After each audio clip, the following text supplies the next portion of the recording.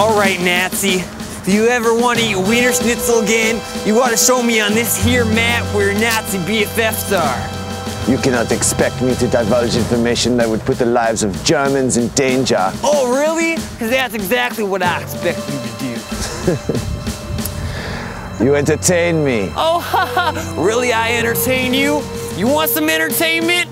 Let's hit it, boys. One, two, three, go! Zig it, zig it, Shut up. Now, you heard of my friend? You might have heard him by his nickname, Big Bear. He bashes in the brains of Nazis with a baseball bat.